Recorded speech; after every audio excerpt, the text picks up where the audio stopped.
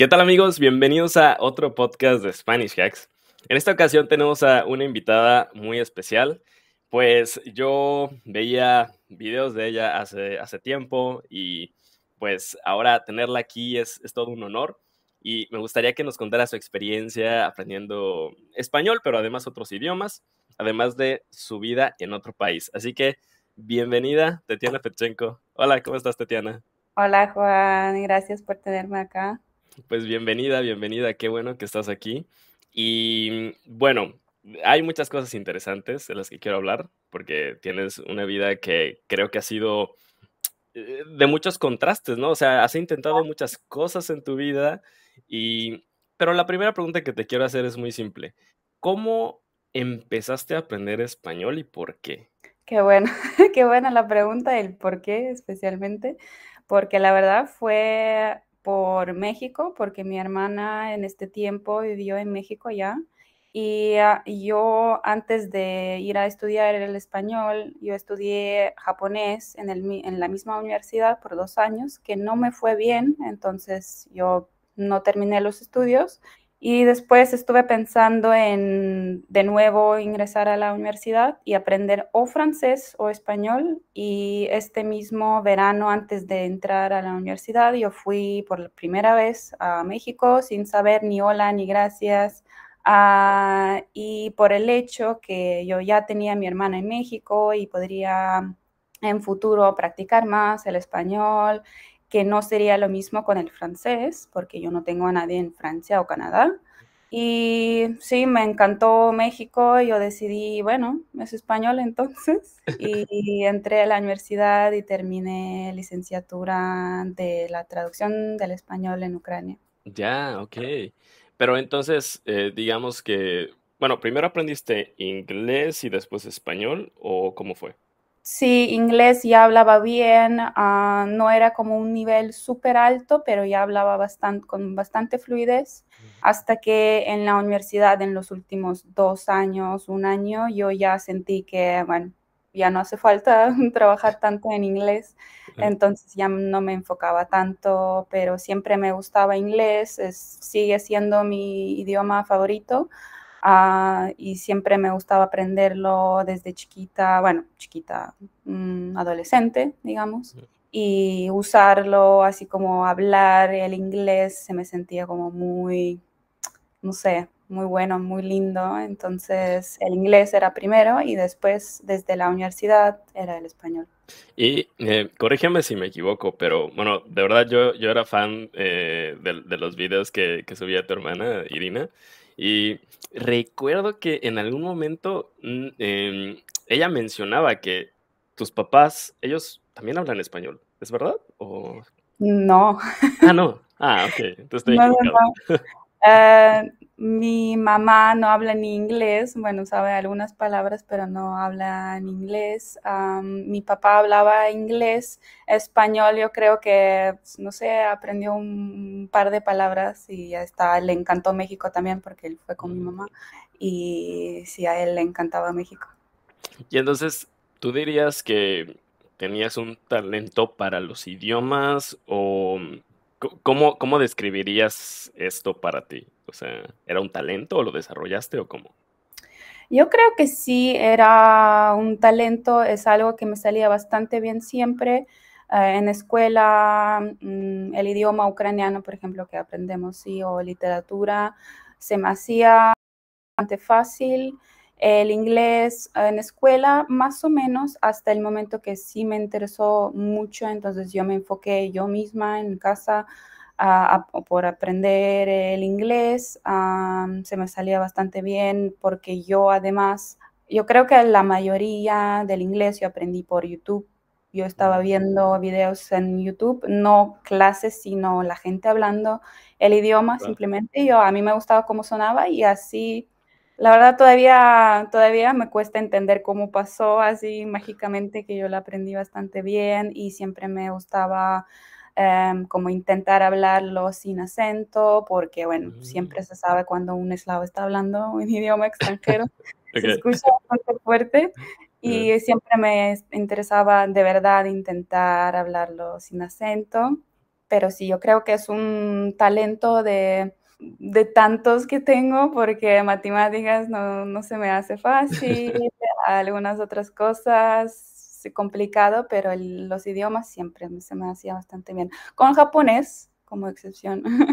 Ah, ok. Y al final ya no aprendiste japonés. Eh, no, no, no, eh, no me gustaba, se me hacía demasiado difícil, mm. era como mucho esfuerzo y no me salía bien y entonces si yo lo dejé, igual que después cuando yo ya empecé a aprender español, ya hablaba un poco de francés, me interesó un montón el coreano, entonces yo muchos años después, cuando ya estaba trabajando, Ah, yo fui a tomar las clases de coreano, eh, creo que en total fueron seis meses.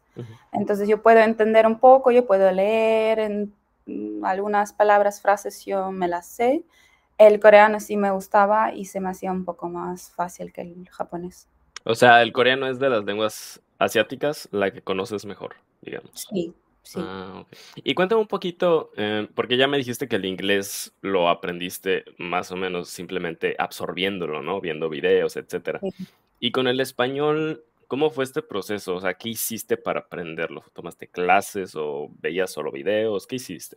Con español.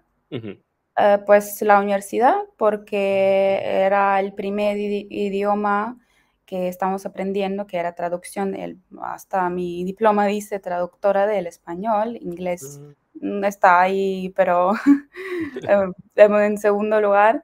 Y uh, sí, eran las clases en la universidad, pero claro que eh, mm, la como mucha importancia tiene México también en todo esto, porque yo después del primer año de la universidad, yo otra vez fui a México, pero ya sabiendo un poco de español, yo tenía bastante buen nivel después de un año solamente estudiando.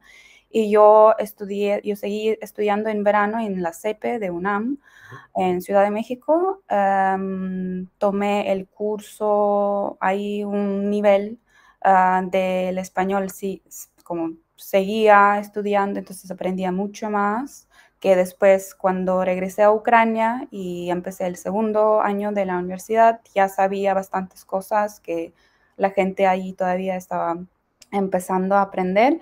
Entonces yo me la tomé así más fácil y dije, bueno, ahora me puedo relajar un poco. Y la verdad, práctica es lo que es más importante porque yo al principio en México me costaba un montón entender primero porque hablan muy rápido, pero también yo empezar a, hablar eh, me costaba un montón porque yo sabía ya un montón, gramática un montón, palabras, un montón de cosas, pero se mezclaba en la cabeza y no podía como hacer una oración normal. Y mm, sí, eso era lo más importante cuando yo fui la segunda vez a México para poder ya empezar a hablar y practicarlo. Y regresé ya con práctica y ya con el acento mexicano. muy bien, muy bien. Pero, y entonces llegas a la UNAM, que bueno, para los que no saben, la UNAM es la universidad más importante de México y de una de las de Latinoamérica. Y llegas ahí, eh, ¿tus compañeros son extranjeros también o, o cómo? Sí, todos extranjeros, porque la CEP es eh, especialmente para los extranjeros que están aprendiendo el español. Mm. Entonces, todos eran de diferentes países y yo hice un montón de amigos eh, que, bueno, por ahora no sigo tanto en contacto, pero yo tengo un amigo mexicano que sigue desde entonces, que era el amigo de un compañero de la CEP y yo sigo siendo amigos y seguimos hablando y nos vemos de vez en cuando. Yo cuando voy a México también lo veo. Es de ahí sí salió una amistad muy buena. qué chido. Oye, y cuando vas a México la segunda vez, porque ya, ya sabías un poco de español y todo, mm, ¿recuerdas tus primeras conversaciones con, los locales? Eh, o sea, ¿cómo eran? ¿Qué tal? cómo te fue? Ah, horrible, porque es como no entendía nada, yo estaba así como, porque mi cabeza todavía estaba traduciendo el idioma porque yo todavía no hablaba con fluidez, entonces mi mm. cerebro estaba como el Google Traductor tratando de traducirlo literales y palabra por palabra, entonces yo al principio como primeras cuatro o cinco palabras las traducía bien, pero después como que hablas mucho más rápido que va la traducción en tu cerebro, entonces te pierdes y yo me perdía. Entonces el principio de la conversación, de la oración podía entender y después así como me, me perdiste y ya no puedo, ya no alcanzo. y también me acuerdo de las primeras conversaciones en el supermercado que yo iba sola a no sé, comprarme aguacates, mangos. Ah, y en la caja me, me, hacía un montón de preguntas, tipo de la tarjeta, de la bolsa, de no sé qué. Y era así como yo no, no, te entiendo nada. Y yo me acuerdo, decía en español, le contestaba, soy, soy extranjera. Y me seguía hablando en español como, bueno, ¿y qué? Si estás en México, pues hablamos español, ¿no? Claro, claro. Oye, qué interesante, pero Mm, o sea, cuando estabas en Ucrania y estabas estudiando el español, yo me imagino que estabas aprendiendo el español de España, ¿no? O, sí. ah, ok. Entonces llegas a México y... El cerveza, sí. claro. me acuerdo que, bueno, yo usaba lo que sabía, entonces usaba el vosotros, el C, yo todavía no sabía cómo era el acento mexicano todavía no tenía mucha idea de cómo es el español, uh, que hay un montón de más acentos en Latinoamérica. Uh, y me acuerdo que las, las, primeras conversaciones, cuando mi hermana escuchaba que yo usaba el vosotros o sé, ella me decía, en esta casa se habla mexicano, entonces si tú sigues hablando así, regresas a Ucrania. una broma, era una broma, claro, pero... Claro pero sí, igual em, yo no tenía todavía un acento, no sé, de España o de México, pero por estar en México como el primer país donde se habla el español como el idioma nativo, yo así lo, no sé, lo aprendí, no, no lo aprendí, pero hablaba como la gente de ahí entonces se me pegó y ya está. Desde ahí el mexicano, el acento mexicano es lo que tengo. No, no hablo, igual estoy acá en España un año, no hablo el acento español, no hablo el acento andaluz. Entonces, sí, ucraniana que habla con acento mexicano. Muy bien. Y así, eh, ojalá que así sea siempre. Por favor. Oye, y tengo una pregunta interesante eh, para ti, a ver qué piensas. Bueno, yo vivo en Polonia y aprendo el polaco. Y entonces, lo mm. siento. Muy complicado, sí. Pero cuando estoy con una persona es bastante más simple que cuando estoy en un grupo de personas. Y así también era con el inglés cuando lo aprendía, ¿no? Eh, ¿Fue así o era la dificultad era la misma con una persona que con un grupo de personas? ¿Cómo fue y cómo lograste poco a poco ir sintiéndote más cómoda? Yo creo que es lo mismo para cada persona que está aprendiendo un idioma porque cuando estás rodeado por varias personas que hablan rápido y con diferente tono, diferente, no sé, uno traga más sonidos, otro no, y hay ruido desde afuera, entonces es mucho más difícil concentrarte en todo lo que está pasando alrededor, todo lo que tiene que ver con un idioma extranjero.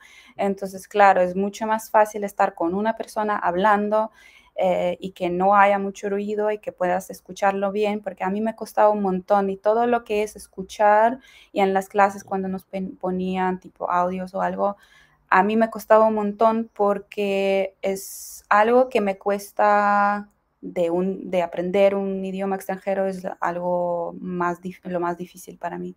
Entonces, en un grupo yo creo que es muy difícil cuando estás empezando a aprender un idioma extranjero, cuando ya quieres practicar y te pones ahí, no sé, en la fiesta, en un bar.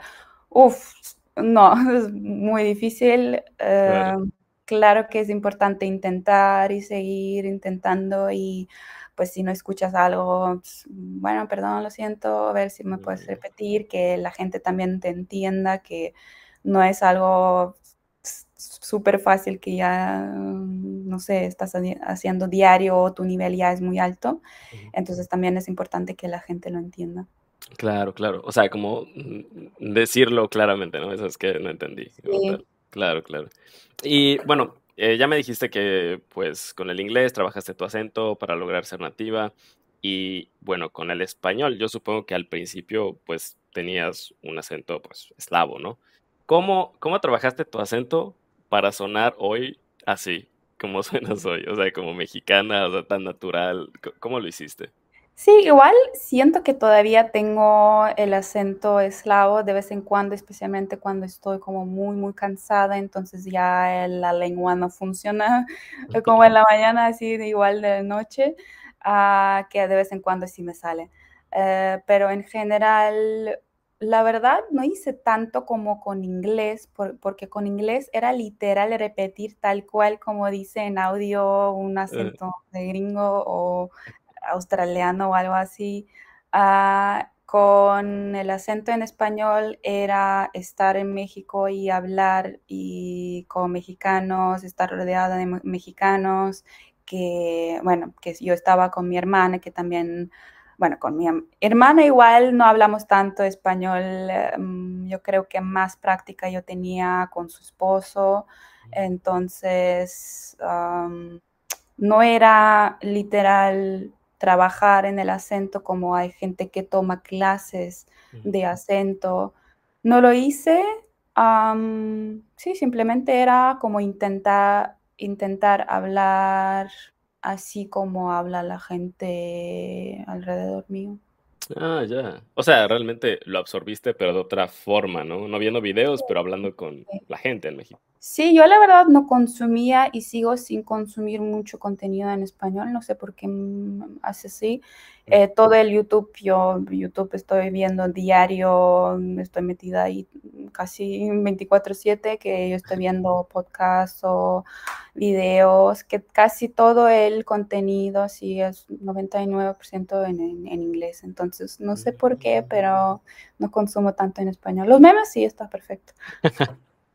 Es que los, los, memes y los de México son buenos. Sí, Así es. Oye, y bueno, quiero hablar un poquito más ya de tu vida en otro país, porque tú, bueno, ya me dijiste que viviste un tiempo en México, tú eres de Ucrania, pero... Sí, no viví, viví el máximo que yo estuve, que fue justo esa, la segunda vez que yo estuve dos meses. Ah, dos meses. Ah, era un curso corto entonces. Sí, un mes y medio después, mmm, dos semanas o algo así que estuve ahí viajando. Ah, de acuerdo, ok, ok. Entonces realmente solo has visitado México. Sí, sí, yo he visitado México cinco veces. Pero entonces, ahora que vives en España, ¿por, ¿por qué te vas a España? ¿Por trabajo? ¿Por que te gusta la vida? O... Uh, uf, la verdad, después de que me fui de Ucrania, cuando empezó la guerra, eh, mi vida era, sigue siendo muy caótica porque no estás en casa y la vida es muy diferente y tienes que básicamente sobrevivir, buscan, buscar los, las vías, como qué es lo que voy a hacer, dónde voy a vivir, en qué voy a trabajar, porque si pierdo el trabajo ya es más difícil quedarse.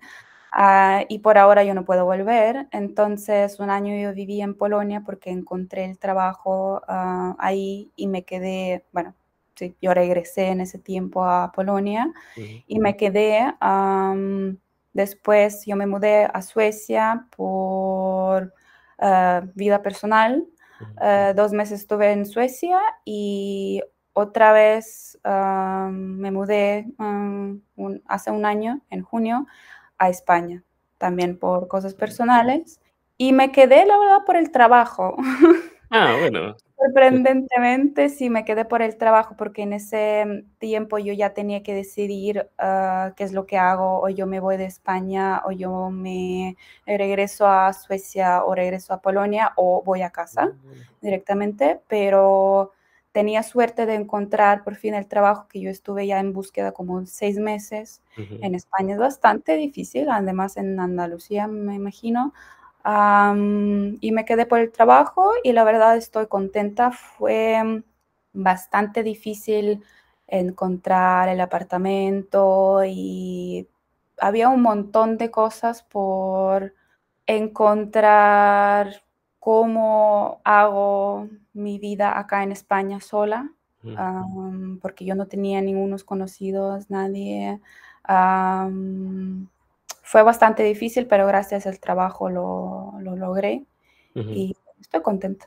Wow, uf, o sea, claro, realmente fue un camino bastante complicado. Sí, sigue siendo la verdad, porque no estoy segura si me quiero quedar en España, no estoy segura si me quiero quedar en Málaga en general, pero sí, por lo que veo y además en mi situación con que yo no estoy por visa de trabajo o algo así, entonces es más difícil como decidir y ver qué es lo que hago por si no me gusta algo, porque en Ucrania, si por, por, por ejemplo, si no me gusta el trabajo, yo me voy, estoy tranquila y puedo estar sin trabajo, sin preocupaciones, puedo estar tranquila buscando acá mm, o en el extranjero, yo creo que tú lo puedes imaginar también, que mm, no puedes así estar tranquilo si dejas el trabajo, si no tienes ahorros o algo así, es Sí, es complicado, sobre todo que, bueno, eh, según yo,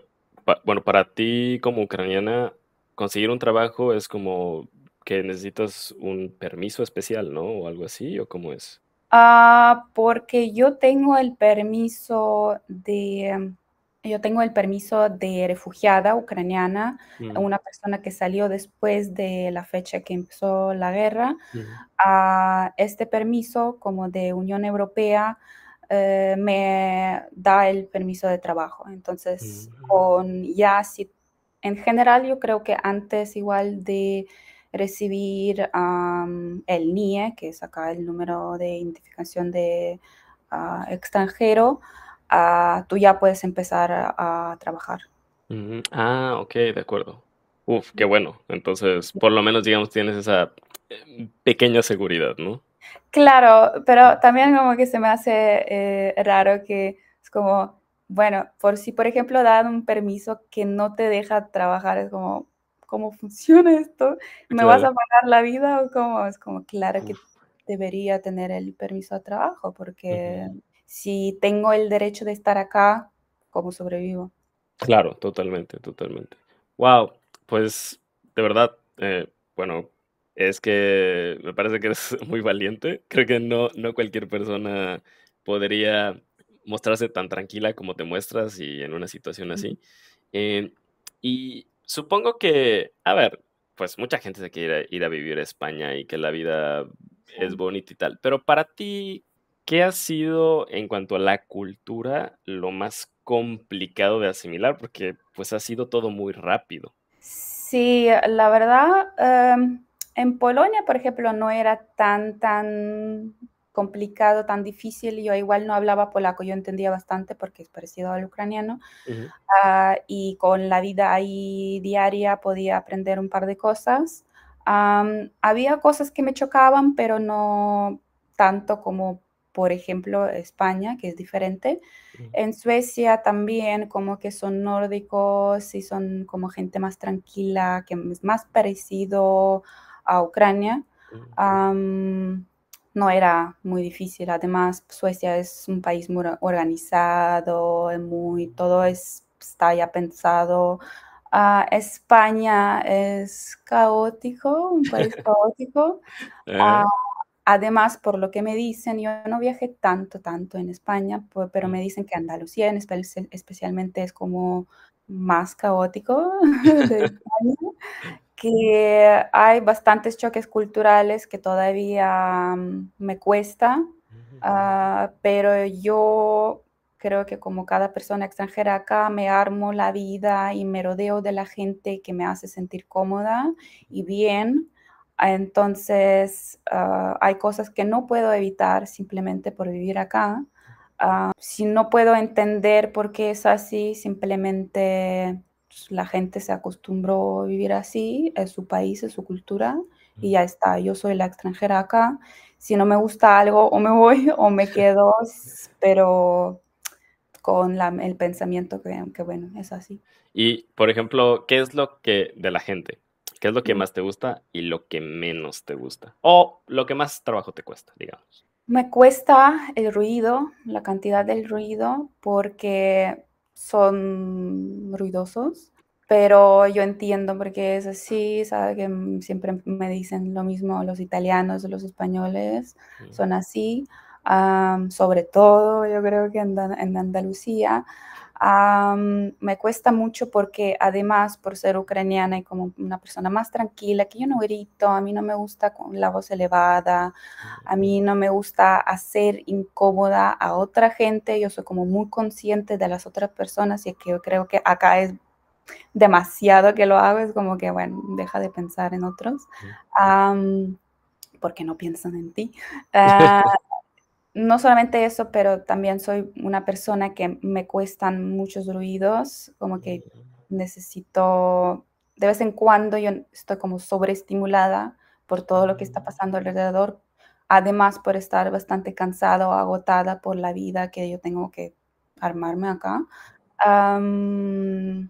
me cuesta. Entonces, por eso yo duermo con tapones siempre, siempre. Además, yo tenía, que, yo tenía un problema muy grande con el ruido eh, porque yo viví, uh, uno de los apartamentos que yo encontré fue en provincia de Málaga, que me costaba un montón encontrar de nuevo porque Málaga es súper sobre, sobrepoblada. Mm, y yo me tenía que mudar dos meses después porque yo no soportaba a los vecinos, era un problema súper grande.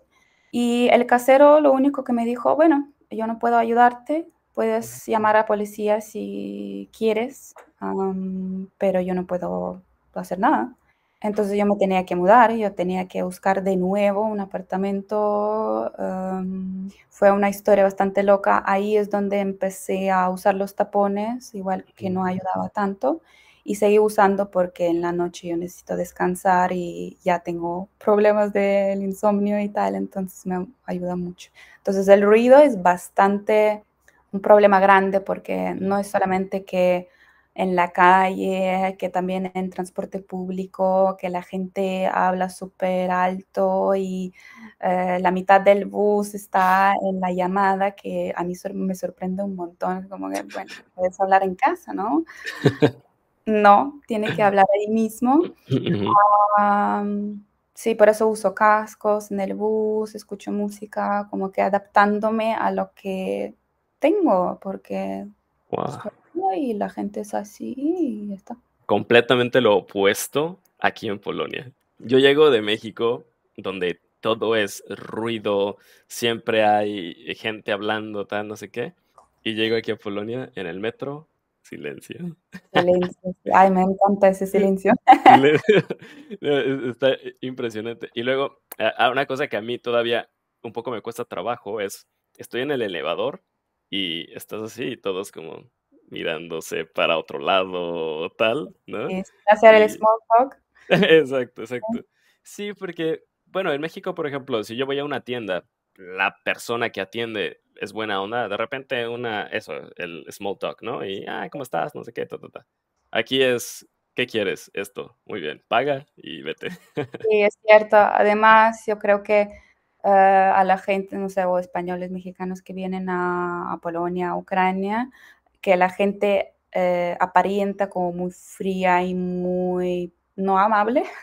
Mm. igual que somos amables, pero sí nos cuesta porque no entras en confianza tan fácil, que no es el caso acá o en México. Además, México es bastante, lo siento como muy diferente a España, que acá la gente también es amable, ah, pero en México es totalmente diferente niveles, como el nivel yo digo, cuando hablo del servicio, tipo de restaurantes, cafés, donde te atienden, en las tiendas también, supermercado, México es en top por ahora, porque la gente es tan amable y tan no te conoce, pero ya sabes, como que te sonríe y te quiere ayudar. Es, es wow.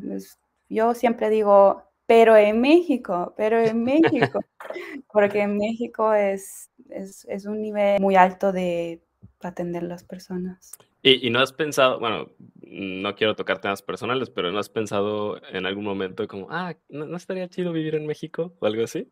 Y yo lo pensé creo que mil veces en mi vida.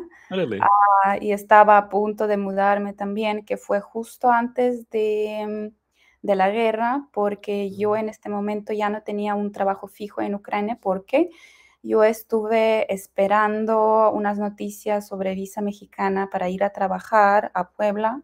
porque mm. yo ya eh, estaba en Puebla una vez por el trabajo, pero cuando empezó la guerra y yo me fui de Ucrania, empezó todo, que yo estuve en mm. Polonia, después yo fui a Barcelona, regresé a Polonia y estaba como sin saber qué es lo que voy a hacer y todavía no había noticias sobre mi visa mexicana. Simplemente no, no pasó. Fue bastante triste porque yo de verdad quería ese trabajo, yo quería hacer eso, yo quería mudarme a Puebla, yo estaba como ya imaginándome cómo sería mi vida en México. Pero si no fuera por eso, yo siempre quería probar vivir en México, pero la vida ahí es muy, muy diferente de a lo que me acostumbré en Ucrania, por ejemplo, o en Europa, que es la inseguridad, que tienes que usar el coche, que manejar en México es peligroso. Es como ah. Fórmula 1 todos los días. Claro, sí, todavía me sorprende como mi hermana lo hacía. Yo cuando lo veía, es, wow, es otro nivel de manejar un coche. La, la vida en México me imagino que es muy, muy linda, pero es, hay muchas cosas que me costarían, entonces, mm. por ahora, por, por lo menos no. ¿Quién sabe qué va a pasar? Bueno, ya, ya, ya la vida dirá, ¿no? Que a dónde te lleva. Pero bueno. Y y bueno, ahora quiero eh, hablar un poquito de, pues, bueno, yo te conocí porque conocía a tu hermana en sus videos, ¿no? Sí. Y la forma en la que conocí a tu hermana en sus videos fue porque hubo un momento en el que tú y ella salieron en un, video de mi youtuber favorito. de Luisito Comunica, ¿no? Es cierto. Y te quería preguntar, así, de pura curiosidad, porque soy muy fan, ¿Cómo fue conocerlo? Él parece una persona muy como relajada y tal. Y bueno, a mí me sorprendió también saber que a las personas que aprenden español les gusta mucho ver también los videos de Luisito Comunica, ¿no? ¿Cómo fue esa experiencia para ti? ¿Fue chistosa o fue un poco rara o cómo fue? Fue un poco rara, sí, porque yo no lo conocía, yo no veía sus videos, yo la verdad ni sabía quién era, ah, porque de nuevo yo no estoy muy metida en contenido en español. Yo mm. sabía por lo que me contaba mi hermana y después cuando sabíamos que él iba a Ucrania, entonces íbamos a grabar algo juntos. yo ya sabía que era un, no sé, el youtuber mexicano, creo que más famoso. Sí, es una persona muy relajada, eh, pero muy trabajador también, que estaba grabando ahí, como viendo qué es lo que es más interesante, cómo lo hago. Entonces, él además estaba con su hermano, conocía a su hermano. sí, como que era mostrar Ucrania a un extranjero que además lo quiere mostrar a, a México y al mundo en general. Eh, pero fue, fue interesante. De acuerdo. ¿Y, ¿Y, tú disfrutas el estar frente a una cámara o es, eh, cómo es esa experiencia? La verdad que sí, ahora sí me desacostumbré bastante porque hace mucho que no hago ni yo tanto contenido mm. en mi Instagram, por ejemplo. antes eh, aparecer en los videos de mi hermana era súper interesante cuando además estábamos haciendo algo cool, tipo, no sé, probar comida mexicana en, mm. Kiev. Al principio sí me costaba porque era mucho más tímida que ahora, que me, imagino con la edad y con experiencia te, ya te sientes más cómoda contigo mismo. Y, y por eso, justo por eso, porque el trabajo que potencialmente yo tendría en México, en Puebla, eh, sería frente a la cámara y yo estaba como súper, súper feliz por probar y cómo sería esto y de verdad como era sueño porque era, yo diría, primer trabajo que de verdad me gustaba tanto. Y sí, bueno, ahora no, ahora porque trabajo enfrente de una compu en la oficina, ¿sabes? No es nada mm, con apariencia, no tiene nada que ver con, con español tampoco, porque todo el trabajo es en inglés. pero sí, mm, estaría bueno tal vez regresar a esos tiempos, pero la vida ya es diferente, pero quién sabe qué puede pasar, simplemente porque me gusta, me gusta hacer las fotos, me gusta hacer mis propios videos, editar un poquito, poner la música y tal.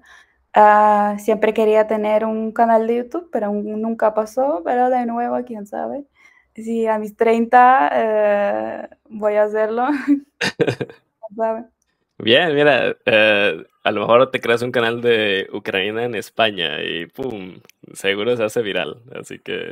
pero Ucrania en España, en España con el acento mexicano y aún más raro. Exacto. Sí, sí, sí.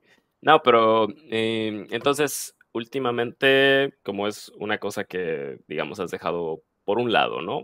Está como en hold o algo así. Ah, de acuerdo, de acuerdo. Es como que eso pasó... Mm, sin querer, porque cuando yo me fui de Ucrania estaba pasando por una etapa muy difícil en mi vida. estaba sola y no tenía ni energías ni ganas de hacer contenido. Al principio sí yo estaba como dando la información de qué es lo que pasa, eh, las últimas noticias, para que la, la gente de verdad sepa qué es lo que está pasando, porque en esos tiempos y ahora también que dejas, dejan de mostrar tanto qué es lo que está pasando en Ucrania, ah, yo quería que la gente lo supiera. pero sí, yo después tomé mi tiempo fuera de las redes sociales, no posteaba nada, nada. Ah, y cuando yo ya me sentí más cómoda, cuando me fui de viaje por primera vez, después de salir y ya cuando de verdad quería mostrar, mostrar de nuevo mi cara en redes sociales, ya lo hacía por mi propia, ¿sabes? Mi propio interés. y sí, ahora mismo de nuevo es más por, mm, sí, querer hacer las fotos, querer hacer el contenido lindo, estético, eh, y ya está, no es ni un trabajo, ni, ni lo planeo hacer por ahora, y estoy bien así. Y nunca, nunca, ah, porque tu Instagram es un Instagram grande, o sea, no cualquier persona tiene esa cantidad de seguidores. Sí, sí, igual, igual, sí. La cantidad bajó bastante después de que empezó la guerra porque ah. yo ya no era la misma y yo me mm. imagino que la gente como que, bueno, eso no es tan interesante ya y me dejaba de seguir y me sigue dejando de seguir. Es, para mí es bueno porque si esa gente no quiere ver ese contenido, está bien. Yo, de nuevo, no es mi logro tener seguidores, no es mi meta de estar, de crecer el Instagram, entonces está bien. Pero sí, eh, la gente que me, por ejemplo, me empieza a seguir acá, que es de mi trabajo o amigos, dicen, no, tanta cantidad, y yo digo, bueno, mira, no es nada especial, había tiempo que yo posteaba mucho más, por eso la gente me seguía. Ahora no es lo mismo, ahora es para mí. Claro, claro. Uf, qué bueno. Como, como de verdad lo has internalizado, ¿no? De decir, bueno, esto es, esto es mío, esto es para mí, no para los demás. Sí. Y es muy sano porque al final no te afecta eso, lo, lo de afuera, digamos. Claro, igual no lo hacía tanto como para otras personas antes, simplemente que mi hermana, por ejemplo, era también como posteaba mucho más y hacía todavía los videos, entonces yo quería esa interacción con la gente, yo quería también hablar y mostrarme, que la gente sepa cómo es en Kiev, cómo es en Ucrania, fuimos a Odessa, que fuimos ahí y mostramos eso y hablamos de eso, que yo cuando fui a Puebla, que también estuve por primera vez, estaba lindo mostrar a la gente mis experiencias. sigo, sigo como queriendo hacer eso, pero creo que en diferente formato. Bueno, pues ojalá que pronto salga algo bueno, que, bueno, de repente saques tu canal de YouTube o no sé, estaría chido. Así ¿Quién sabe? bien, bien, bien. Oye, para terminar te quiero hacer em, cinco preguntas rápidas, tus respuestas no tienen que ser rápidas. La comida que más recomendarías de España no sé, aceitunas. están por todos lados y están buenas, les recomiendo a todos, porque mm, yo la verdad no he probado tanto, tanto, porque no he viajado en España, es muy grande, entonces hay diferentes comidas, pero mm, sí, las aceitunas. ¿Y de Ucrania? Mm, de Ucrania. Tienen mucha comida. Sí, mucha comida. Tengo la lista ahí. A mí lo que más me gusta, yo diría, son vareniki, que son pierogi en Polonia. Ah, ok, de acuerdo. Con cereza. Uh, qué rico. O sea, pero eh, eh, como dumplings dulces, ¿no? O sea... Sí, sí, sí, sí, ¿Y cómo se llama en ucraniano? Vareniki. Vareniki. ¿Y eh, cuál es la comida que más recomendarías de México? Pues claro que todos tus tacos, pero el único problema ahí que no puedo recomendar tacos de verdad o tacos al pastor porque tienen carne y yo todavía ah. sigo sin comer carne, pero me imagino que son buenísimos, entonces les recomiendo a todos. Ah, ¿tú eres qué? ¿Vegana o vegetariana? Más pesqueteriana, pero ah. bastante rara pesqueteriana, sí. Ok, ok, de acuerdo. Entonces, digamos, no has comido los tacos tradicionales, ¿no? Sí, qué pena, lo siento mucho, pero sí. Bueno, tampoco vas a, vas a comer algo que no comes, así que no pasa sí, nada. Sí, pero en general todo lo que he probado en México está buenísimo. Tamales, sí, yo creo que de mi, de mi parte son tamales. Uh, qué rico. ¿Y tienes algún, alguna meta eh, que, quieres cumplir? ¿Algún sueño quizás o algo así? Uf, ahora mismo tengo un pequeño, sí, un pequeño meta que ah, estoy estudiando un curso que no está muy conectado con mi trabajo, pero es algo que me interesaba probar, algo muy, muy diferente que yo pensaba es interesante, pero muy difícil y no sé si lo voy a poder hacer y quiero terminar esos cursos y quiero ver por si se puedo trabajar en eso, si es algo que pueda hacer y si no lo puedo hacer por, por, si, por si no pase, que quede ahí como un conocimiento grande que me ayude en la vida o en el trabajo. Pero sí, porque ahora mismo que estoy estudiando y a la vez trabajando y haciendo tareas, es muy difícil tengo muy poco tiempo libre, ah, además que quiero hacer otras cosas y ir al gimnasio y ver a, mis amigos, que es verano ir a la playa. Uf, qué rico. Entonces estoy trabajando mucho y es muy agotador, pero sí es un pequeño sueño que ojalá pueda hacer y después irme de vacaciones, no sé, a. Maldivas, mejor a Isla Mujeres. Ah, muy bien. Sí, porque la verdad extraño mucho México y quiero ir de nuevo a las playas mexicanas. Sí, totalmente. No, no. Sí, yo estando aquí, extraño un montón. sí, sí, sí. Y la última, si hay alguna persona que está empezando a estudiar idiomas, nunca ha estudiado idiomas, y dice, Puf, quiero aprender un idioma, ¿qué consejo le darías a esa persona? Porque muchos no saben cómo empezar cómo estás acostumbrado a aprender las cosas, porque hay gente que puede estudiar sola, si abriendo un libro y, empieza a estudiar y se le hace fácil. Lamentablemente yo no soy una de esas personas, se me hace muy difícil hacer cosas sola porque mm, te puedes confundir, puedes no entenderlo bien, después sigues estudiando y sigues aprendiéndolo mal.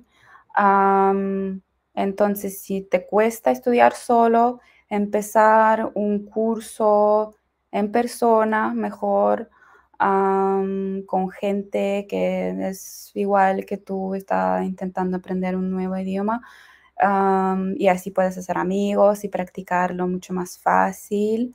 Ah, yo diría que sí, empezar con un curso en persona y después cuando tienes un nivel más o menos, no sé, A2, yo diría B1, que ahí sí puedes empezar a ver qué es lo que se te hace más fácil, más difícil, cómo quisieras aprenderlo de mejor manera o quieres, no sé, mejorar tu acento o quieres tener un nivel, en nivel aún más alto o quieres aprender como tener un diccionario más amplio y ahí ver por si te, te hace fácil estudiar solo, tomar clases privadas, estudiar en línea, ver videos en YouTube, cualquier otra cosa, pero creo que empezar sería mucho mejor en clase. Si quieres aprender un nuevo idioma o si te interesa otra cultura, otro país, que, que lo hagas porque no hay no hay que tener miedo acá porque todos vivimos por la primera vez y todos tenemos miedos, pero